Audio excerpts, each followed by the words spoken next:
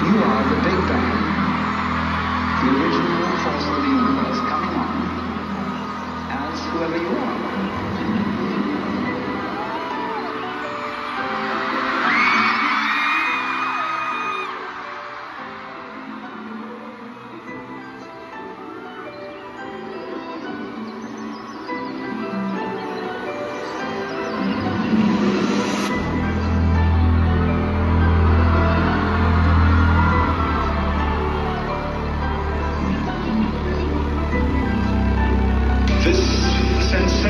of being a separate, lonely individual.